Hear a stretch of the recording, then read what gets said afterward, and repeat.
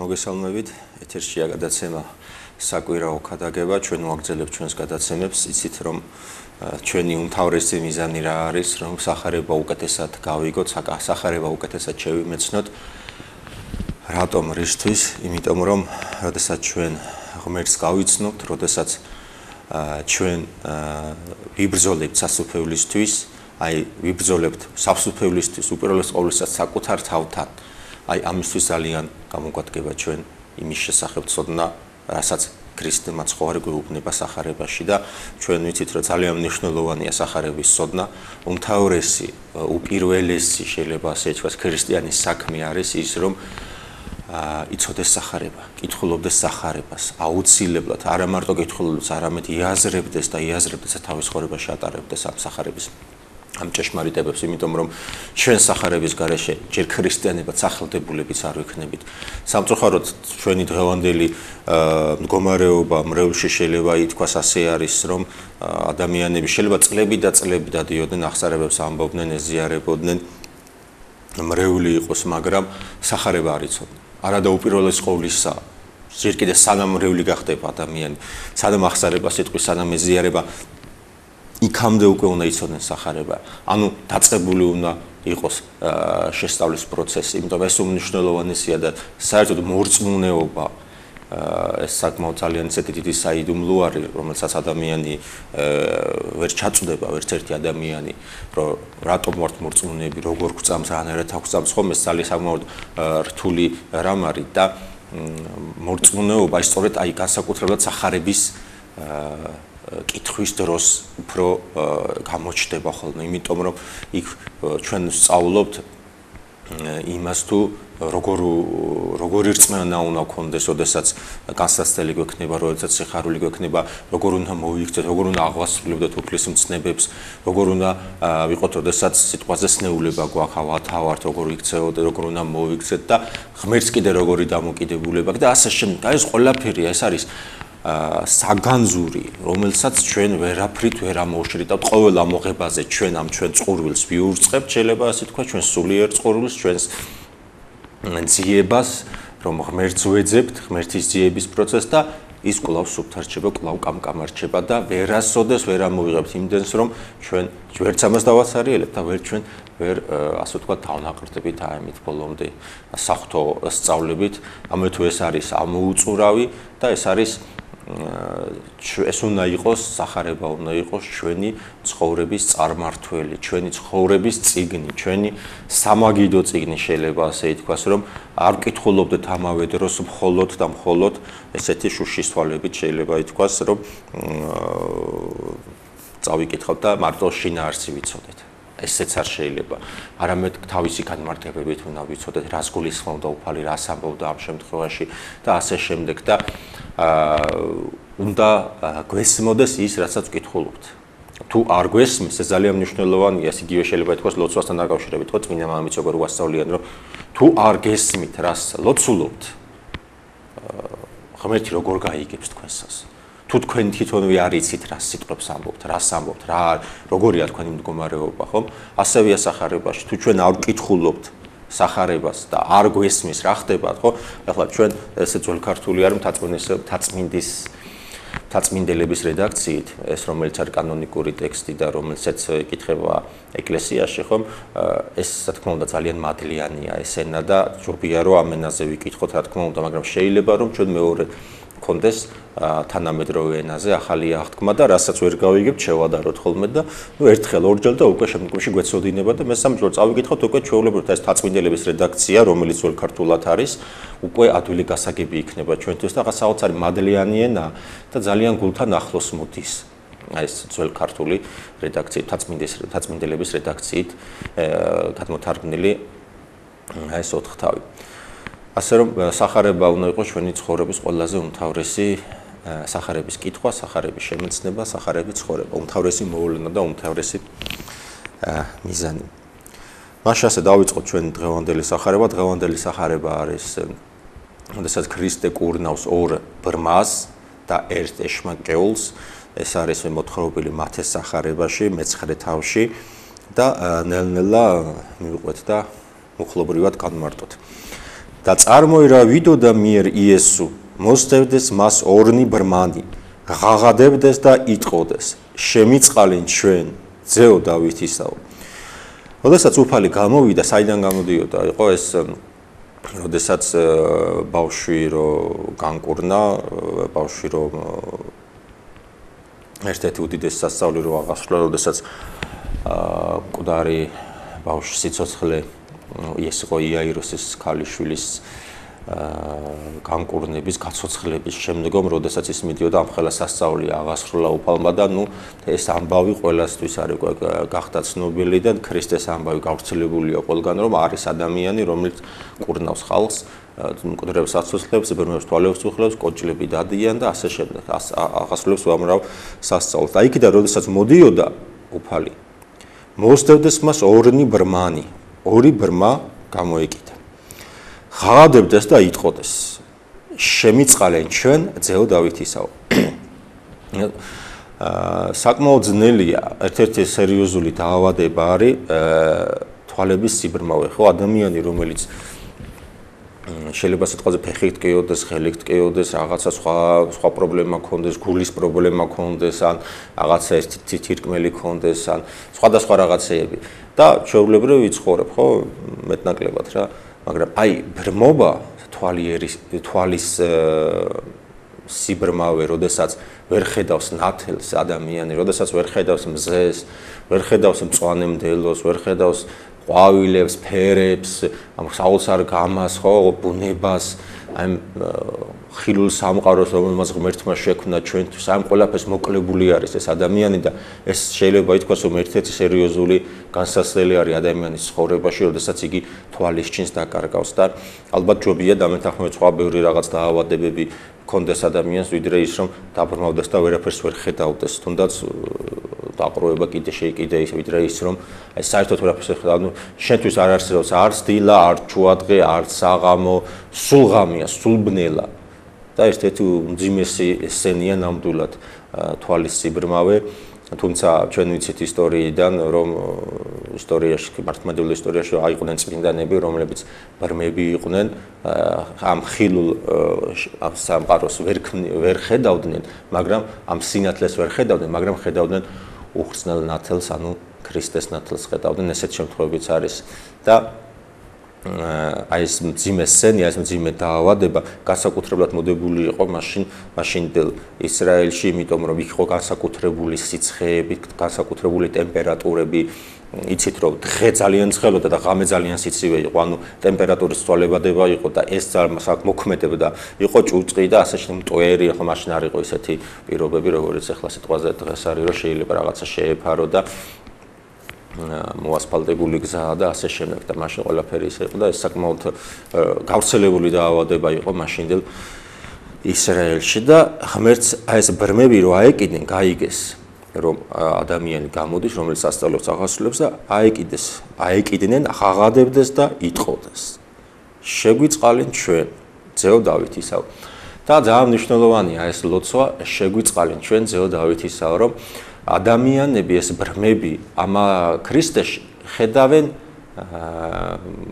ყველაზე დიდი ალბათ ღმერთის წინასწარმეტყველს ღმერთის გამოგზავნილ ადამიანს რომელიც დავითის ძეთ მოხსენიება აი ამ ადამიანის მისთვის იქნებოდა საკმაოდ გონია თუ პატივს მიაგებენ ქრისტეს აი ამის გამო რომ მას მოიხსენიებენ რომ შეგვიწყალენ ჩვენ ზეო დავითისაო და შეიძლება ასე ითქვას, რომ მათი რწმენა ჩანს სწორედ აი აქ, რომ ჯერ არ არის არავითარი სიმაღლეზე მათი რწმენა, რომ აი ამ ადამიანში ღმერთი დაინახონ და უბრალოდ რასაც გრძნობენ იმ შემთხვევაში მათთვის უმთავრესი აი ამ შემთხვევაში იყო ის, რომ მათ მიეღოთ კურნება და ჯერ სულიერ განკურნებაზე, რა თქმა უნდა, საუბარიც არ იყო, არამედ მხოლოდ იყო ხორცელ განკურნებაზე და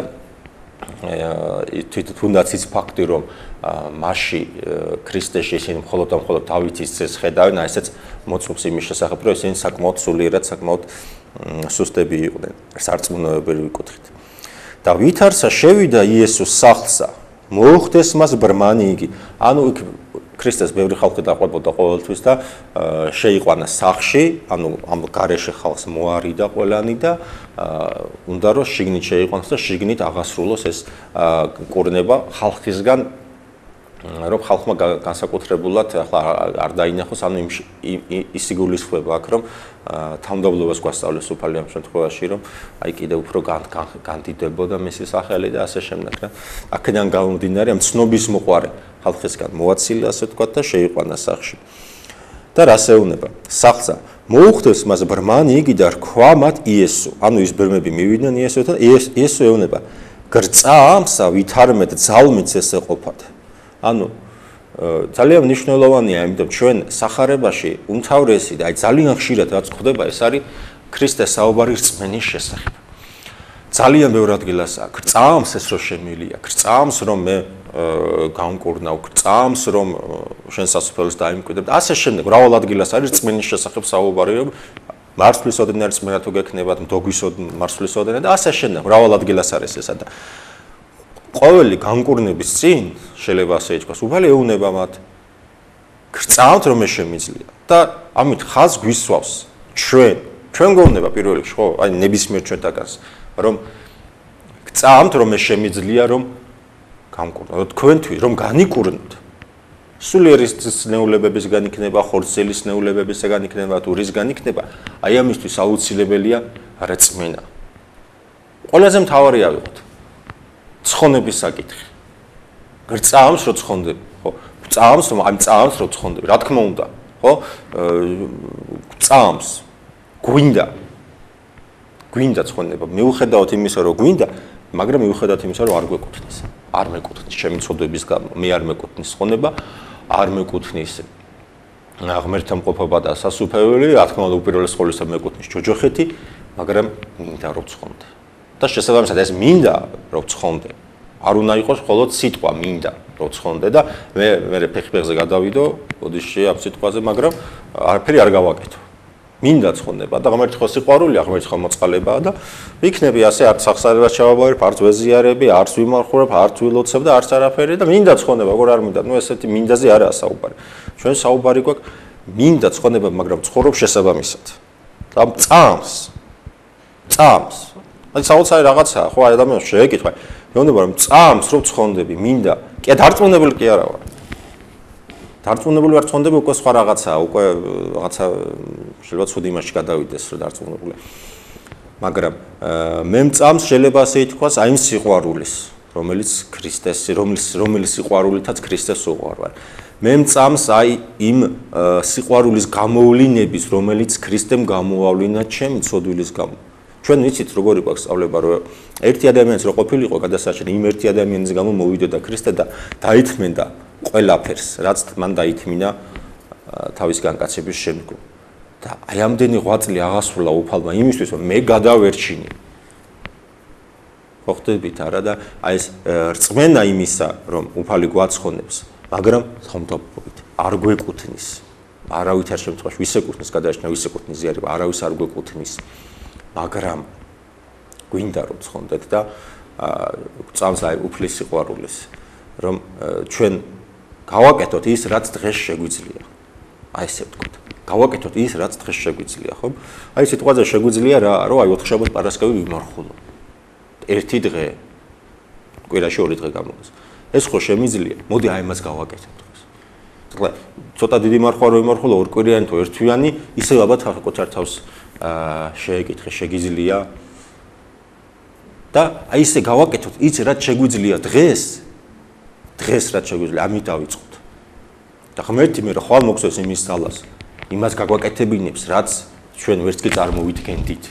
და ესე მზარდი მზარდი ურთიერთობებით ავალ თუფალთან გააკეთე ის დღეს რაც შეგიძლია და ხვალე გაგაკეთებ იმას რასაც ვერ შეძლებთ მე ზეგ მე ასე შემდეგ. აი ძალიან მნიშვნელოვანი რომ უფალი ჩვენ იმაზე მეც არ ხვთხოვს რა თქმა უნდა ის გაკეთებიც ჩვენ არ შეგვიძლია და ამას ეუბნება უფალი რომ გწამს რომ ეს შემიძლია თქვენი განკურნება. საოცარია ხო? ადამიანი ახლა ბრმა რაღაც განწირული შეიძლება ასე ითქვას მარადიული სიბნელისათვის, ანუ იმ სიბნელისათვის ჯერ ხორციელს იყო საუბარი, მთელი ცხოვრება უნდა ვიყო ბრმა, მაგრამ რაღაც იმედი გამოშა რომ ადამიანი არსებობს, რომელიც ამ ყველაფერს აკეთებს, აი რა თქმა უნდა უკვე გარკვეული რწმენაც აქვთ ამ ადამიანებს, იმიტომ რომ გაყვნენ იმიტომ რომ შეღაღადეს ძეო დავითისაო შეგვიწყალენ ჩვენ ანუ რწმენა არის თუმცა პატარა რწმენა არის მაგრამ მაინც არის ასეთი რწმენა და უფალი ჯერ არ უსრულოს მათ სათხოვარ ხო შეიძლება იქვე განეკურნა მაგრამ არა შეიყვანა ცალკე იმიტომ რომ რწმენაში აღამაღლოს იმიტომ რომ თხოვნით როდესაც უფალს თხოვენ და უფალს ესაუბრებიან აი ეს სურვილი გააძლიეროს მათში რწმენა გააძლიეროს მათში და ყველაზე მთავარი რომ ჩვენ ამაზე ხშირად საუბრობთ, რომ კურნება უნდა იყოს სრული. რას ნიშნავს კურნება უნდა იყოს სრული? იმიტომ რომ მხოლოდ ხორცილი ხორცილად განიკურნოს და წავიდეს ეს არ ითვლება კურნება. ჩვენ იცით ამ შესახებ, ხო? მრავალ ადგილას არის საუბარი, რომ ადამიანი რომ მხოლოდ ხორცილად განიკურნოს, ჩვენ მაინც მოკვდებით. ეს ხორცი მაინც მოკვდება. და საჭიროა ამასთან ერთად სულიერი კურნება. ანუ სულიერ კონება რა შემდგომარეობს ადამიანმა დაინახოს საკუთარი თავი რეალურად რა ვართ, რანი ვართ. და დავინახოთ ღმერთი, ვინ არის და რა არის. როდესაც დავინახოთ საკუთარ თავს, ანუ საკუთარი თავის ადეკვატური ხედვა, მე უკვე ნელ-ნელა ვიწყებთ გადარჩენის ძიებას, ვიძებ დავიწყებთ ღმერთის ძიებას და როდესაც ღმერთის ძიებას დავიწყებთ, უკვე აი აი ამ დროს იწყება ადამიანის გადარჩენის პროცესი და სწორედ ის რომ ქრისტე ეუბნება რომ წამთ ეს რომ ანუ აღამაღლოს კიდე ერთ ერთი ნაბიჯი ძევით აწიოს. მათი რწმენა აიმიტომ ეუბნება წამთ რომ ეს შემიძლია იყო დარქვეს მას. ჰე უფალო. ანუ კი უფალო. მაგრამ უკვე დავითის ძეს აღარ ეუბნებიან უფალს ეხადიან. ანუ უკვე რაღაც დონეზე უკვე აიწია მათი რწმენა შეიცვალა სახელი შეიცვალა სახელი მათი ვის იმისი ვისაც თხოვდნენ. თუ ის ორიოდე წუთის წინ იყო დავითის ძე ეხლა ის გარდაიცახა უფლად. ანუ ჰე უფალო ვიცი წამს რომ შეგვიძლია. და უფალი რა თქმა უნდა გულთამხელავია ყველაფრის და ეუბნება მაშინ შეახო თვალთა მათთა და არქვა მათ.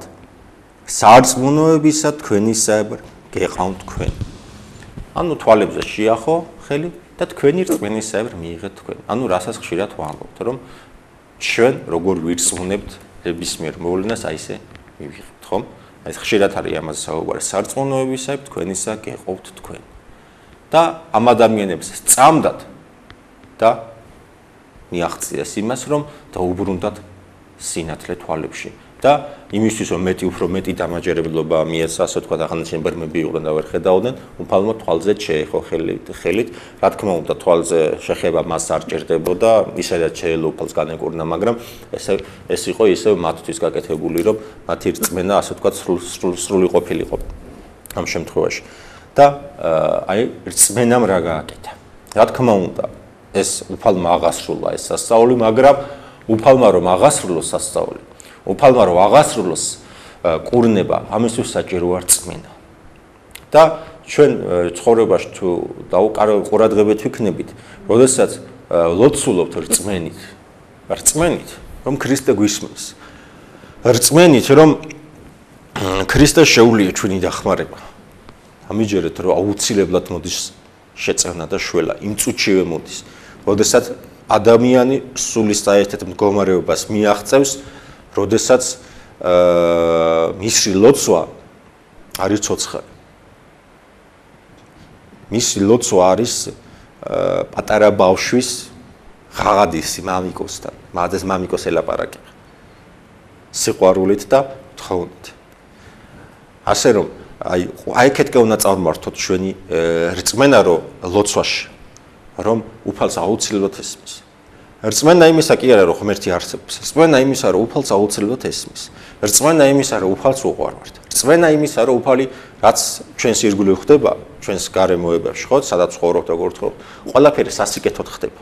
იმიტომ რწმენა იმისა ხო გვაქვს რომ ჩვენ უფალი არის მოსიყვარულე мама, რომ რწმენა იმისა რომ უფლის ნების გარეშე ერთი თინზღერის არ ჩამოურდება ჩვენი თმიდან. რწმენა იმისა რომ უფალი ჩვენი ცხონებისთვის ზრუნავს. რწმენა იმისა, რომ მან უკეთესად იცის ჩვენი ცხონებისათვის რა არის საჭირო. მან უკეთესად იცის, რომ მე დღეს სიხარული იქნება ჩემთვის, ჩემი ცხონებისთვის სასარგებლო თუ მწუხარება იქნება სასარგებლო ჩემი სულისთვის, ხო? მან უკეთესად იცის ყველაფერი. აი აი ეს უნდა ვირწმუნოთ ჩვენ. და უნდა ვირწმუნოთ ის, რომ უფალი გადაგვარჩენს, მაგრამ უფალი აღასრულებს კურნებას, მაგრამ ჩვენ უნდა დავახედოთ შესაბამისი რწმენა. სანამ ეს წმენას ასე არ აღზრდით, იქამდე არაფერი არ გამოვა. უფალი, ასე ვთქვათ, მდიდარია წყალობით, უფალი მდიდარია მადლით, კურნებით, მაგრამ ასე განუკითხავად მადლს არავის არ მისცემს. ასე ბრმად შეიძლება ასე ითქვას, არავის არ მიანიჭებს კურნებას თუ იქიდან შესაბამისი არ იყო. გამომავალი, ანუ ის რწმენა და ის დამტევნელობა, რაზეც ხშირად საუბრობთ ჩვენ, რომ ადამიანს უნდა კონდეს დამტევნელობა ღვთისა, ღვთის მადლის დამტევნელობა და რწმენის სიძლიერე და კი ვამბობთ, უნდა კონდეს, კი აუცილებლად, მაგრამ როგორ მივახციოთ ამას? შეიძლება თქვას კაცო. როგორ უნდა მივახციოთ ამას? აა მიმართოთ ისევ წმინდა მამებს. ჩვენთვის ამიტომ ძალიან მნიშვნელოვანია, რომ ჩვენ ახლა იმენა დაცემულები ვართ ისეთი ცოდვებში ვართ, რომ გვიჭირს სახარების გაგებაც. ივანე ოქროპირი ამას წესით თქვენ არც უნდა ჭირდებოდეთ ჩემი განმარტებები, იცით რომ ივანე ოქროპირის ერთ-ერთი სერიოზული და ესეც საფუძვლიანი განმარტებები აქვს ბიბლიისა, სახარებისა და ეპისტოლეების და ასე შემდეგ. აა რომ თქვენ თვითონვე უნდა გებულობდეთ ამას, მაგრამ ვინაიდან უკვე დღევანდელი ადამიანი, ნუ წარმოიდგინეთ მეოთხე საუკუნეზე საუბრობს, აღარ არის ის, რაც იყო ადრე, ანუ ცოდვების შედეგად ადამიანი ადამიანს დაებინდა გონება, აღარ აქვს ის აღქმა, ის შემეცნება ღმერთისა, სიწმინდისა, რომ დაინახოს ღმერთი და რომ აი სახარების კითხვის დროს იგრძნოს ღმერთი, შეიცნოს ღმერთი და მიხვდეს ყველაფერი, რაც შეგნით წერია. აი ამის ახმა რო აღარ აქვს უკვე ამას ჭირდება განმარტება. და იმიტომ განმარტობ მე იმას, თორე ამას წესით არ უნდა ჭირდებოდა არავით არის განმარტება. ის რაც მინა წერილში წერია. ეს ძალიან მნიშვნელოვანია და აქედან გამომდინარე ჩვენ ქრისტეს ქრისტეს უბრალოდ აი ეს ამბობს რომ უნდა ირწმუნოთ ის რომ აი ხშირად არის ხოლმე რომ ჩვენთან მრევლი მრევლის ერთ-ერთი უმთავრესი პრობლემა აა მარადისობისა არ სწავთ. რომ იქ მარადიული სიცოცხლე არსებობს, აი ეგ ეგ არის პრობლემა. კი, ღმერთი არსებობს, კი ეს განსაცდელებსაც ყველაფერი, მაგრამ აი რომ დაფიქრდებიან ხო როგორი ხლა იქ როგორ უნდა ვიყოთ, აი მიჭირს იქაური ცხოვრების რწმენა. ხო და ამ შემთხვევაშიც იგი შენ ილოცე, შენ განაგზეგსა. მეცე შეიძლება თქვა ერთ-ერთი განსაცდელი არის, რომ უფალი ამით გწდის, უნდა გამოგახუროს, გამოგცადოს, გავგაძლიეროს რწმენაში, ხო? რომ ამ ძიების შედეგად მე პასუხი მიიღო. და მე რაუცილებლად მიიღებ ამ პასუხს. ღმერთი მოგცემს ამ პასუხს. ჩვენ სამწუხაროდ ეხლაც გვიჭირს წარმოდგეთ ამისა, როგორ შეიძლება 9 თვე ადამიანი იყოს მუცელში და მუცელშივე იკვებებოდეს, ხო? ყველა არა და ყველანი დაბადებულები ვართ ეგრე. 9 თვე დედის მუცელში ვიყავით და შემდგომ დავიბადეთ, მაგრამ ეხლა გვიჭირს მაგის აღქმა. და რო კითხო, ისე სიმბოლურად რო ავიღოთ ახლა და მუცელში მყოფ ადამიანს ბავშვს რო კითხოთ ხო? მისთვისაც საკმაოდ ძნელი იქნება და გაკვირვებული იქნება როგორ უნდა იცხოვროს იქიდან გამოსულმა დედის წიაღიდან გამოსულმა აქ ამ ცხოვრებაში. ანუ მისთვისაც რო კითხოთ საკმაოდ დაუჯერებელი ფაქტები ნუ ჩვენთვისაც დაუჯერებელი დედის წიაღში შეგნით იყო ეს ყველაფერს ჭიპლარი როგორ იკვებება ჰაერი წყალი საჭმელი. საოცარია ეს ყველაფერი. ამას უბრალოდ ვერ ჩავწუდებით ჩვენ იმ ხელა სიღრმეა და ღვთის საიდუმლოება არის ამაში და აქედან გამომდინარე ესეთ რაღაცებს ალბათ უფრო ნაკლებად უნდა ვიფიქროთ, უფრო მეტი სარწმუნოებრივი კუთხით, ანუ ღმერთს ლოცვისკენ უნდა მიემართოს, რომ შესაძაც მე რო უკვე სხვანაირად შეიმსეთ ამას, რაც შეხება იმას, რომ როგორ უნდა მივახციოთ ამ რწმენის სიმტკიცეს და როგორ უნდა მივახციოთ ამ მდგომარეობას, უფალი გვეუბნება, წინა მამები გვეუბნებიან, რომ მცნებების აღსრულებით, ქრისტეს ცნებების აღსრულებით მოიპოვება რწმენის სიმტკიცე. აი რატომ უნდა ვიმარხულო რო გვეუნებით ან რატომ უნდა ვილოცო, რატომ უნდა ვთქვა ახსარება რა. ესა ყველაფერი არის ღვთისმცნება. ყველა სიტყვა რომელიც ახარებაში წერია. ეს არის ღვთისმცნება. აი სწორედ აი მცნებების ღვთის სიტყვის ახსრულებით ძლიერდება ჩვენში რწმენა. გზა ვიცით. აი ასე ხდება. ახლა დანჩენ ჩვენზეა უკვე. და აი ამ ორმა ბრმამ თავიანთი სარწმუნოების მიხედვით მიიღეს კურნება. მეხსეულად აღეხუნეს თვალნი მათნი. აი, ოდესაც შეახულფა იმ წუთშივე მოხდა ეს ყველაფერი. და შერიცხნა მათ იესო დარქვა, იხილეთ ნუნცა ვინ უწყის. ანუ გააფრთხილა უფალმა, რომ ხო მიიღეთ კურნება. რაც გინდოდათ ხო აღგისლეთ, მაგრამ არავის არაფერი არ უთხრათ. უფალი გვასწავლის რას? თავმდაბლობას. თავმდაბლობას გვასწავლის, როდესაც ჩვენ სიკეთეს გავაკეთებთ რაღაცას, ხო ჯერ ისეთი რომ ჩვენ რა სიკეთე გვაქვს, არაფერი სიკეთე არ გვაქვს, რომ უფალი როგორც გონება ჩემს garaში არაფერი სიკეთის ქნა არ შეგიძლიათ, ხო? ჩვენ ასევე ასკეტური ლიტერატურის წმინდა მამებისგან ვიცით ესეთ სწავლება, რომ აზრები გვაქვს ჩვენ. ანუ ჩვენი ყველა ქმედება ჩვენ საერთოდ ზოგადად ყველა ჩვენ ქმედებას, ყველა ჩვენ საქმეს წინ უძღვის აზრი, ხო? ჯერ აზრი გონებაში მწიფდება, გონებაში მწიფდება ეს აზრი და მე გამოდის უკვე საქმეში, ხო? ასე განურჩევლად აფერი არ ხდება, ეს უკვე რაღაც დაკარგულია ყველაფერი, რაღაც არანორმალური მდგომარეობა არის, როდესაც რაღაც უაზროდ კეთდება ყველაფერი, ხო? ჯერ არ მოდის აზრი, კეთილი იქნება თუ ბოროტი და მე უკვე ადამიანი ამ აზრს მიხედვით მოქმედებს. და სწორედ ასე არის, რომ კეთილი აზრი მოდის ღვთისაგან, ბოროტი აზრი ვისგანაც მოდის ხო ვიცით. ანუ ის აზრი რომ სიკეთე გავაკეთოთ, ხო ჩვენ ამ სიტყვაზე მივდივართ და ჩვენ წინ მოხუცი ხალი მიდის, მიაქვს ცოტა მძიმე ჩანთა. და დავინახე, ხო არ მივეხმარო ამას. უცებ აზრი მოგივიდა. მივეხმარები ცოდოა. აი ეს აზრი უკვე ღმერთისგან არის. თვითონ ეს აზრი გამოგიგზავნა ღმერთმა. რამდენი ყოფილა შეიძლება სიტყვაზე გაიდახო, მაგრამ გაიარო შენ საქმეს. ანუ არ მოვიდა ეს აზრი. ვერ მიიღე ეს აზრი. ანუ ის აზრი რომ მოგაწოდა ღმერთმა რომ მოდი მივეხმარო ანუ ეს აზრის ღმერთისგან შესაბამისად ხო ის ზალაც ის ჯანი ის ღონე რაც აქვს ყველაფერი ღმერთმა მოგცა ეს შეეული ხო მოგცა ღმერთმა არ მოგცა. ანუ ყველაფერი აზრსაც ღმერთი გვაძლევს და სიკეთის შესახებ აზრსო სიკეთე გავაკეთოთ და მე იმ ზალასაც ღმერთი გვაძლევს სიკეთი აღვასრულოთ. ფიზიკური შრომის იქნება თუ ფინანსური იქნება თუ როგორც იქნება. და ასე გამოდის ჩვენი სიკეთე რა ყველაფერი ღმერთის არის ხო ასე რომ, მაგრამ მაგრამ ამ სიკეთესაც რა თქმა უნდა ღმერთი იწირავს და ესე უნდა აღვასრულოთ ეს ჩვენი სიკეთე. და როდესაც ამ სიკეთეს აღვასრულებთ ჩვენ, არ უნდა მიმოუფინოთ თელ ქვეყანას, რომ აი დაინახეთ, შემომხედეთ როგორი სიკეთე გავაკეთე. რა კეთილი ადამიანი ვარ. იკარგება იმ წუთში ამ სიკეთის ფასი. აღარაფერი არა ის სიკეთე უკვე. უფალი გვეუბნება ასეთ შემთხვევაში, რომ მიიღეთ თქვენი ნუგეშინის სემა უკვე. ანუ რომ გააკეთე ეს სიკეთე, შენ მაგაზე მე მოგაგებ პასუხს, მე მოგაგებ მადლობას, მე გეტყვი მადლობას შეიძლება ასე ითქვას, ქრისტე გვეუბნება ჩვენ. მე გადაგიხდი ის იქ, როდესაც იმ დროს, როდესაც ყველაზე ძალიან დაგჭირდება შენ. შენი კი ნაყოფი შენი კეთილი საქმეებისა და ასე თქვა, ინახება ეს ჩვენი საქმეები. ჩვენი საქმეებად ითვლება მაინც მიუხედავად იმისა, რომ ქრისტე გვადლოს ამ ყველაფერს, ინახება ეს ყველაფერი იქ და როდესაც ყველაზე ძალიან გაგვიჭირდება, აი მაშინ გახსნის შეიძლება ასე ითქვას უფალი აი თავის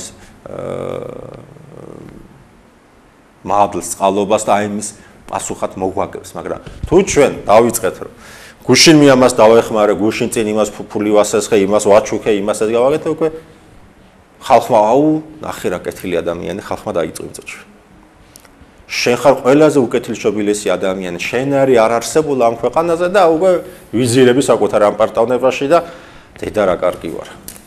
აკეთილი ვარ და რა რა ვარ ეს რა ვარ და უფალი გვეუბნება. უკვე მიგიღებია შენი ნუგეშინის სემა. ანუ იმ სიკეთის სილი შენ მიღებული. რომელი გვერდშენია? აი ესე უაზროთ არაფერში რო აღჭირდება ესეთი სახელის დიდება მი თუ ღმერთმა გვადიდოს როცა მოვამის დრო. პასუხი რა თქმა უნდა ისაა რომ მივცეთ და დავივიწყოთ ეს სიკეთე. მამები ასე გვასწავლიან რომ სიკეთეს ვინც გიკეთებს დაიმახსოვროთ ყველა. ვინც სიკეთეს გიკეთებთ. და ვისაც უკეთებთ სიკეთეს. ყველა დაივიწყეთ. ვისაც სიკეთე გაუკეთეთ როდის დაივიწყეთ იმ წუთში. ჩათვალეთ რომ არ გაგიკეთებიათ ეს სიკეთე. ღმერთში ღმერთო დამავიწყე ეს სიკეთე. ვისაც ვისთვისაც სიკეთე მაქვს გაკეთებული ხო? ხში ისევ შენი ძალით. რომ როცა დაჭერო იქნება მე რომ მოგვაგოს უფალმა. და სიკეთეს როდესაც ვაკეთებთ ჩვენ არა ღმერთისთვის არა სასუფევლისთვის არა ქრისტესთვის ხომ ის სიკეთე უკვე სიკეთე აღარაა. არადა რო გაიხედო ხო უამრავი სიკეთე კეთდება. მაგრამ არ კეთდება ყველაზე მთავარი რისთვის კეთდება ეს სიკეთე. ეს იგივეა რომ ერთი შეიძლება ერთი შეხედვით გაჭირებულმა ფული გთხოვა და შენ მიეცე სიტყვაზე დაეხმარე და შენ არ იცი შენ უბრალოდ დაეხმარე ამ ადამიანს მაგრამ ეს ადამიანი წავიდა მერე და სიტყვაზე დასალევი იყი და სასმელი იყი და დათვრა და წოდვაში ჩავარდი შენ ხო არის რას აღასრულებ რისთვის რისთვის კეთდება ეს ყველაფერი ანუ თან ამავე დროს მამები გვასწავლიან რომ გაოფლიანდეს შენ ხელში ფული, როდესაც შენ გადაწყვეტ იმას დაეხმარო, რომ შენი ეს განუ განუკითხაობა, შენი ასე უაზროდ გადაგდებული არ გამოვიდეს შენი ფული და სიტყვაზე ესეთი რაღაც არის, ეს ესე ძალიან მნიშვნელოვანია. და როდესაც სიკეთეს ვაკეთებთ ისე, რომ სხვა რაღაც მიზეზების გამო რო ცნობილი გავხდა, ეს გავხდა, ეს გავხდა, ეს უკვე სიკეთე აღარა რა და ეს უკვე მაგის ნუ გეშინის ამას მიღებული გქონდა. მაგრამ უფალი გვასწავლის, რომ აი მე ხო აღვასრულე ახლა ჩვენი ეს რა სიკეთე ახ ქრისტეს სიკეთესთან შედარებით ხომ? აგააკეთა ფოლმორ ბრმებს თვალები აუხილა და არავის არ უთხრათ ეუბნება აფრთხილებს უკაცრეთ ხოლო იგინი გამოვიდეს და მიმოდადვეს იგი ყოველცამას ქვეყანას საალცარი უბანმა გააფრთხილა მკაცად რომ არავის არ უთხრა და გამოვიდნენ თუ არა იმ წუთში ყველას ყველაფერი გააგებინეს ანუ იმ დონემდე იყო ეს ხა როგორია ხა ბრმა იყავი ხა ამდენი ხანი ხა არ წერია ამდენი ხანი იყო მაგრამ ბრმა ადამიანს თვალი აეხილოს და ჩუმად იყო და არავის არ უთხრა ამის შესახებ. ხო? ვერ დაიტიეს ეს სიკეთესისა და შეიძლება ასე ითქვას როგორაც ჩას იცით აი მომენტიდან რომ თითქოს ასე უხეშად კი არ აღღვენ აი უფლის კურთხევას არამედ რაღაც აი სიყვარულით. აი შეიძლება რაღაც პარალელით იქნას გავლებული, როდესაც ღვთისმშობელი ეხვეწ ეუბნება მაცხოვარს კანას გალილეაში ქორწილი როდესაც არის. როდესაც ღვთისმშობელი ეუბნება რომ ღვინო შემოაკლდა, აღარა აქვს ღვინო და ქრისტე ეუბნება რომ დედაკაცო, ჩემი ჟამი ჯერ არ მოსულა. მიხვდი?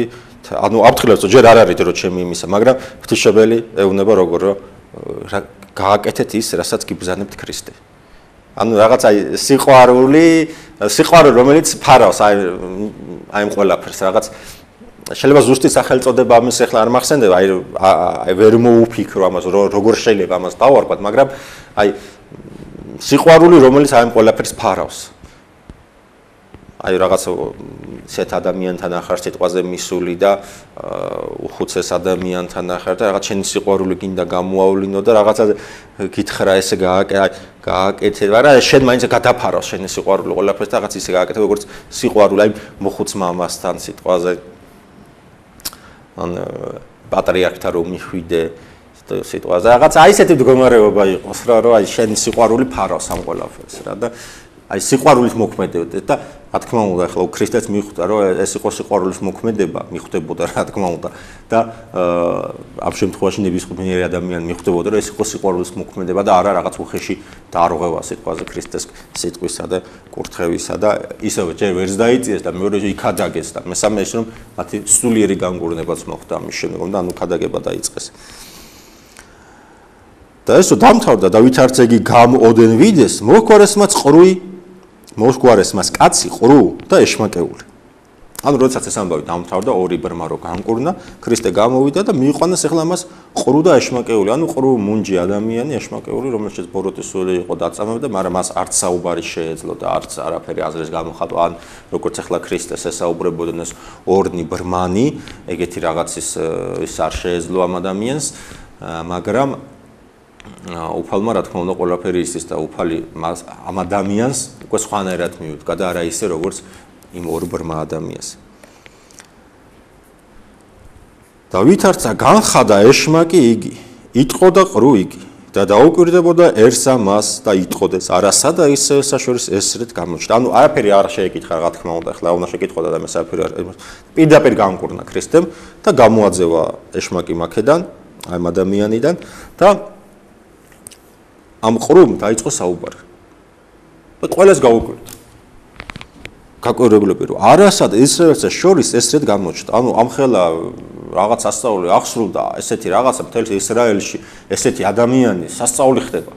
ვინ არის ეს ასეთი ადამიანი? ამ ხელა სასწაული აღასრულა ესეთი რაღაც არავის არ უნდა ხილავს მთელ ისრაელში რომ აი ესეთი ტანჯული ადამიანი განკურნა და გამოიყვანა სნეულებიდან და გამოაჯამთელა. ხოლო ფარისეველნი იტყოდეს თავრითა ეშმაკთაითა განასხამს ეშმაკთ. ეს ძალიან მნიშვნელოვანია. ყოველ სიკეთეს ტვინა მამების სწავლების მიხედვით ყოველ სიკეთეს აუცილებლად აუცილებლად ან წინ ან უკან მოსდევს განსაცდელი ან ცილის წამება ან რაღაცა ეს ეს ეს არის ასე ვთქვათ შურიზება ბოროტისა შეიძლება ასე ითქვას, მაგრამ ჩვენ არ უნდა შეგვიშინდეს ამის, იმიტომ რომ ქრისტე უნდა გვახსოვდეს ყოველთვის, ქრისტე ცოცხალია და ქრისტე თუ არ დაუშვა, ვერავინ ვერაფერს ვერ გაგვიკეთებს და ის თუ რაც ჭირ სიტუაციაზე ესე იგი ეს არის ქრისტეს დაშვებით და ქრისტე იმაზე მეც არ დაუშვებს ჩვენზე, ის სიტუაციად და განსაცდელის დათმობასაც ჩვენ ვერ შევძლებთ. და ეს იყო ცილისწამების ერთ-ერთი ხერხი, რომელიც ერთ-ერთი ხერხია ცილისწამება არის პირდაპირ ფარისევლებმა თავად სასწაული ვერ უარყვეს როგორ გინდა ახლა უარყო ამ ხელა სასწაული მოხდა. ჯერ ორი ბრმა განიკურნა მე ყრუმუნჯი ეშმაკეული განაძევა და სასწაულს ვერ უარყოფდნენ. რაღაცა უნდა მოიფიქრებინათ ახლა რომ ქრისტეს ავტორიტეტი დაემცირებინათ ებრაელთა თვალში იმიტომ რომ უამრავი ადამიანმა უამრავ ადამიანმა ირწმუნა მისი და უამრავი ადამიანი მიყვება მას და აი ეს სწრაფო ახთისაკენ ეთქვარათ დაწყებული არის ამ მატჩში და ნუ ამ მატჩში არის უკვე ესეთი შურის მომენტი და ის რო ხედავ რომ მათ აკლდებათ ეს ხალხი, მათი ავტორიტეტი ძირს მიდის და ქრისტეს ზევით იწევა. რა მოვიფიქროთ, როგორ გავაკეთოთ? მოვიფიქროთ ეგეთი რაღაცა რომ ვითომ ეშმაკით განასხავს. წარმოვიდგინეთ, ქრისტეს აბრალებენ ეშმაკეულობით, ანუ ეშმაკს ეშმაკითა განასხავს. თავრითა ეშმაკთაით, ანუ ჯადოქრობას რაღაც შეიძლება ასე აი ესეთ რაღაცას აბრალებენ ქრისტეს. და აქედან უნდა ვიცოდე ჩვენ ხო ქრისტეს უნდა აბრალეს ეგეთი რაღაცა ხო? ჩვენ ვინა ვართ ქრისტეს სიტყვას თუ არ ისმენენ ჩვენ ვინა ვართ ჩვენი სიტყვა არ მოისმინოს ზოგმა ხო? ვისაც უნდა ის ისმენს ვისაც არ უნდა ის არც მოისმენს და ეგ ეგრე იყო ყოველთვის და ეგრე იქნება ქრისტეს დროსაც და მოციქულების დროსაც. ის ვისაც ვინც ეძებს ღმერთს ვისაც ვისაც წრაფვა აქვს ისაგან ვისაც უნდა გადარჩენა ის ისმენს, სიტყვაზე 10 გისმენს, მაგრამ 2, 3, 4 აუცილებლად გამოერევა, ვინც რაღაცა შხამს შემოურევს ამაში. აი, მაგალითად გვეუბნება და ეს ასე იყო სულ. და ასე იქნება. და თავარია ჩვენ როდის მოვლენების შეფასებისას, მოვლენების შეფასებისას ვიყოთ ობიექტურები ყოველთვის. ობიექტურები და ის რომ აი ზედაპირულად არავის არაფერი არ შეხვდეთ, ზედაპირულად დასკვნები არ გამოვიდანოთ. აუცილებლად უნდა, როდესაც რაღაცა თამიწმენდეს ასეთი მნიშვნელოვანი საკითხი, როდესაც შენ მომავალს ეხება, შენ გადარჩენის საკითხს ეხება, არ უნდა ვიყოთ აი ესეთი ზედაპირული პროგრამა უნდა ვიყოთ ამაში. იმიტომ რომ ვერ გადავრჩებით ხანერად. შემთხვევით ვერ ცხონდებით. სადაც ყველა იქაც გამორიცხული. ხო? აი, როდესაც სიტუაცია მრევლი, ხო, ბევრი მრევლი დგას ტაძარში, ბევრი ხო ტაძარში რომ მრევლია, ზოგი პირველად ამოსული, ზოგი საერთოდ მრევლი არაა და ისი არის შემოსული და ხოთა მოდელი გამოვა შეიძლება ნაკურთხი წყალი ხო, ნაკურთხალი ვასხუროთ ხოლმე, წირვის შემდეგ ვიცით, ნაკურთხლის ხურება, ხმრევლს ვასხურებთ ხოლმე ნაკურთხალს და ამ დროს ყველას ესხურება. სადაც იქ ძველი მრევლს იქაც შემთხვევით შემოსულობს. აი ესე ესე ვერ გადარჩება შემთხვევით მოსული ადამიანი. როგორც შეიძლება წყალი გესხუროს შემთხვევით, ტაძარში, ხო? აი ესე შემთხვევით ვერ ცხონდები და ვერ განიც ვერ განიწმინდები შემთხვევით, ვერ გადარჩები შემთხვევით. ეს მნიშვნელოვანია, უნდა ვიცოდეთ ეს. და ის რომ ქრისტეს ცილი დასწამეს, მაშინ ჩვენ ზათ უნდა ვიყოთ ყოველ წუთას, რომ ჩვენს წინააღმდეგაც რაღაცა გასასწრებელი მოვიდეს და პრობლემები იყოს ასეთი. მაგრამ ქრისტე ამავდროულად გვასწავლებს როგორ დაუძლიოთ ეს პრობლემები, როგორ დაუძლიოთ ეს გასასწრებელი და როგორ დაუძლიოთ ცილის წამება. აი შემდეგ მუხლში ჩანს. ხო, ფარისოლებმა თქვეს, რომ თავრით ეშმაკთა და განასხამს ეშმაკთა და იმ წუთშივე შემდეგი მუხლი. ვითომც არაფერი არ მოხდა. ქრისტე აგზავნებს თავის საქმეს. და მოხლიდა იესო ქალაქებსა ყოველსა და დაბნებსა და ასწავებდა შესაკრებელთა შორის მათთა და ქადაგებდა სახარებასა სასუფევლისასა და განკურნებდა ყოველთა სენთა და ყოველთა უზლურებათა ერთსა შორის. აი პასუხი, რა გააკეთა ქრისტე? ცილი დასამეს საერთოდ ყურადღება არ მიაქცია. განაგზო თავის საქმე გააკეთა. წავი წავიდა ქალაქები მოიარა, დაბებში შევიდა, სოფლებში შევიდა, შესაკრებლებში, ანუ სინაგოგებში შედიოდა, მათთან ერთად დაჯდებოდა, გადაგებდა თავის საფრთხოსავლებას აა უკადაგებდა ხალხს, განკურნებდა ვის სნეულები მიყავდა, ვინც უძლურები ქონდა. ანუ გადაგზო თავისი საქმე. ასე ჩვენ უნდა ჩვენ უნდა ჩვენ ჩვენი საქმე გვაქვს. ჩვენ ჩვენი საქმე რა არის? ჩვენი საქმე არის უპირველესად ჩვენი ცხონების საქმე. ის ვინც ჩვენ რაღაცა პრობლემა გვექნება, ხო, სამსახურში იქნება, იქ იქნება, აქ იქნება თუ რა, სადაც როგორ უნდა იმაცილი დაგვწამეს გააგზა განაგზა შენი საქმე. აი ქრისტე გასულნებოდ გახსოვთ ქრისტეს ო ცილწამებდნენ იქ თქვი ჰეროდესთან რო იყო სამშობლოზე პილატესთან ანა კაიაფსთან. ხმას არ იღებდა ხოლო იესო დუმნა. აი ყველაზე კარგი და სწორი გამოსავალი. დადუნდი და ილოც. ღმერთმა დაუშვა. და რახან დაუშვა მოდი სარგებელი მაინც მიიღი აქედან სარგებელს მიიღებ როდესაც დადუმებული გადაიტანა ყველაფერს. რას იფიქრეს? რაც უნდა ის იფიქროს. იფიქრებს რომ დავჩაგრე იფიქროს რომ დაჩაგრე შენთვის რომელი უფრო მნიშვნელოვანია? ღმერთი რას იფიქრებს შენზე თუ ის ვიღაც შენაერი ადამიანი? ის რას იფიქრებს? ხო უნდა იყოს მნიშვნელოვანი ღმერთი რას იფიქრებს ჩემზე? დადუნდ და გულში ილოც. იესოს ლოცვა ილოც რომელიც ძალიან მაგრად აგვეხმარება ასეთ შემთხვევაში და როცა მოვადრო გამოაჩენს უფალი შენ სიმართლეს და უფალი განგადიდებს შენ რომელი უფრო მთავარია და მნიშვნელოვანია? კლავ და კლავ რომ მეუბნათ ვიყოთ ღვთის თვალში. სწორი და მართალი ამ შემთხვევაში. თუ ვიდრე ადამიანის თვალში რომელმაც მე ცილი დამწავდა მე თავი ვიმართლე უაზროდ გამოვედი რაღაცა მდგომარეობიდან ნერვები მოვიშალე უმტკიცე უყვირე და ასე შემდეგ და მე განერულებლი ერთი კვირა ვერ დავიძინე. და კაპლებს ვავდი და ცუდად ვიყავ. როგორ მითხრა როგორ მაკადრა ესეთ რაღაც? ცილი დამწავ აი უთხარი ქრისტეს სიტყვებია. საერთოდ ყურადღება არ მიაქცია და განაგზო თავის საქმე. თავისი მისიის აღსრულება. აი ეს აი ეს არის მთავარი, რომ ჩვენ ამავე დროს ეს უნდა გქონდეს. აა სახარების აი ეს ძირითადი სწავლებები ცხოვრებაში უნდა განვახორციელოთ. თუ არა და აფერი არ გამოვა. ვიკითხოთ სახარება რამდენიც გვინდა. ვილოცოთ რამდენიც გვინდა სანამ სანამ გულამდე არ ჩავალოთ, არაფერი არ გამოვა. ამ მოდმეტყოლებაში ვიქნათ. სანამ ყურადღებიანი არ იქნება ჩვენი ლოცვა, არაფერი არ გამოვა. ამ მოდმეტყოლების სოდვაში ჩავარდებით. იმიტომ რომ თუ არ გვესმის მიუბრუნდები კლავ, რასაც ჩვენ ვითხოვთ, რაც ეგანა ვთქვა. ღმერთი როგორ გაიგებს იმას? თუ ჩვენ არ გვესმის, ჩვენ რა გვინდა? უმთავრესად უპირველესად უნდა ვიცოდეთ რომ ის ცოცხ აი როდესაც ცოცხალ ადამიანს ველაპარაკებით ხო ხო ყურადღებით ვავართ რა ველაპარაკებთ ცოცხალ ადამიანს ჩვენ აზრებთ რაღაც ყურადღებით ვაკონტროლებთ და ვეუბნებით საჭმელს უბრალოდ აი ესეთი უღონდ უფრო მეტი ყურადღებით რომ ღმერთს ველაპარაკებით რომ ლოცვა ლოცვა შედეგიანი იყოს. აი ეს იყო ძირითადი აი сахарების აი დღევანდელი ჩვენი საკითხავი და აი უმთავრესი რა არის სწავლება დღევანდელი რომ აა რწმენა უდიდესად მნიშვნელოვანია იმისა რომ ყოველი ცნეულების დროს უფრო შეუძლია ჩვენ განკურნება უფალ შეუულია ჩვენი ტკივილის შემსუბუქება. უფალ შეუულია რომ ნუ გეში ქცეს და ეს უნდა გვახსოვდეს სულ. და ეს რომ უფალმა აღასრულოს კურნება უფალმა აღასრულოს თავისი ძალმოსილება ამისთვის საჭიროა რწმენა ამისთვის საჭიროა მოთმინება ამისთვის საჭიროა ლოცვა. ხო გეუბნებით ჩვენ თუ არ გავანძრიეთ ხელი არაფერი არ გამოვივა. შემთხვევით არ გამკურნავს უფალი. ასე რომ ეს აუცილებელია ეს საჭიროა რწმენა იმისა რომ ქრისტე არის კურნალი ამავე დროს მნიშვნელოვანია ის რომ ქრისტე, როდესაც სიკეთეს აკეთებს, როგორ ეუბნება ხალხს, რომ არსად არაფერი არ თქვათ. როდესაც ჩვენ უნდა ვიცოდეთ ამავე დროს ეს რომ ჩვენი სიკეთე, რომ ჩვენ როგორ ვართ, შეიძლება სიკეთე საერთოდ არ გვაკეთებული და მაინც იმითაც ვამაყობთ, ცოდვითაც ვამაყობთ ხოლმე. სამწუხაროდ ეგრეა, რომ ცოდვითაც ვამაყობთ ხოლმე. და ჩვენ კიდე გვეუბნები რომ სიკეთითაც არის ამაყო, ასიკეთესაც შენაკეთე. არ არის ეგ არაფერი საამაყო. აი ქრისტემ გვასწავლა ეს. ქრისტემ ასევე გვასწავლა რომ იქნება ცილის სამებები, მაგრამ როგორ როგორ გამომკლავდეთ ამ ცილის სამებებსაც, ესეც გვასწავლა. უფალო. ასე რომ აა ქრისტე თან გვაფრთხილებს და თან წარმოცაც გვეუბნება, როგორ უნდა მოვერიოთ ამ ყველაფერს. ძალიან მნიშვნელოვანია ეს სწავლება და ეს ამის ხორებაში გატარება, იმიტომ რომ ჩვენ უნდა ვიყოთ ნათელი ამას ოფლის.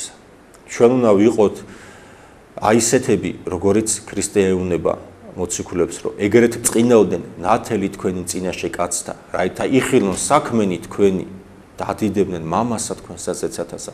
ეს ის მუხლია, როდესაც მღვდელმთავარს უკითხავენ შემოსვის დროს, როდესაც მღვდელმთავარი შეიმოსება, მიმართვა არის დიაკონის მიერ ეპისკოპოსისადმი, რომ რომ შენი საქმეები რეგრეს წინავდეს, მაგრამ ეს არ არის მარტო ეპისკოპოსად მიმართ, ეს არის თლიანად ჩვენი ქრისტიანებისადმი მიმართ ყველა ადამიანს, მაგრამ თქვენი საქმეები ისე უნდა წინავდეს, რომ ადამიანები, სხვა ხალხი რო შემოგხედავს, ადიდებდნენ თქვენს მამას ეცათას. აი ქრისტიან. აი ესეთი ისეთი უნდა იყოს ჩვენი საქმე წრფელი უანგარო სიყვარულით ახსავსე რომ აი ეს დაინახოთ ადამიანებმა რომ ქრისტიანობა სულ სხვა რაღაცა ქრისტიანი ადამიანი სულ სხვა ვიღაცა.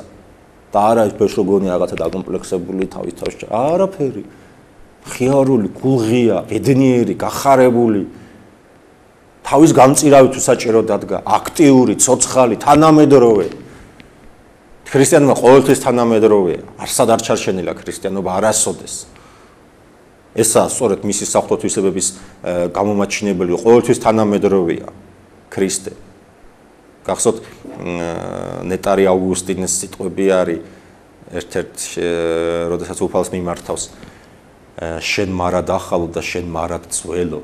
საოცარი სიტყვები აქვს ნეტარი აუგუსტინეს და ალბათ აი ეს ყველაზე კარგად მიესადაგება ახლა ამ ჩვენ სიტუაციას რაც ახლა საუბრობდი რომ უფალი არის მარად ახალი და მარად ძველი ანუ იმიტომ რომ სულ იყო უფალი და სულ ახალია უფალი. სულ თანამედროვეა მიხვდით საოცარი ნეტარი აუგუსტინეს განსაკუთრებული რაღაც სიღრმისეული წვდომები აქვს და ძიებები აქვს და სწორედ აი ამ სიტყვებში კარგად აჩასალია შენ მარად ახალო და შენ მარად ძველო უფალი უფლის ეს უფლისადმი მიმართული ეს სიტყვები და აი ესია რომ ქრისტიანმა თავისი ცხოვრებით განადიდოს უნდა უფალი განადიდოს უნდა შემოქმედი განადიდოს უნდა თავისი მოძღვარი განადიდოს უნდა თავისი მშობლები თავისი ათესავები, თავისი ოჯახი, თავისი კარგი ადამიანობით და თავისი სიყვარული და თავისი ქრისტიანობით. აი ეს იყო ძირითადი ჩვენი სათქმელი, რაც დღეს გვინდოდა გვეთქა ამსახარების ირგვლივ. ეს იყო გადაცემა საკვირაო ქადაგება. მე ვარ მოდელი ვასილ მურმანიშვილი და ჩვენ შეგახსენებთ, რომ ჩვენი გადაცემები გადის ეთერში ყოველ შაბათს საღამოს 7 საათზე და განმეორებით კვირას შუადღის სამ საათზე ტელეკომპანია ქართული არხის ეთერში. მომეცვა დაგლოცოთ, გავაკურთხოთ, გაგაძლიეროთ და გაგახაროთ. ამინ. ნახვამდის.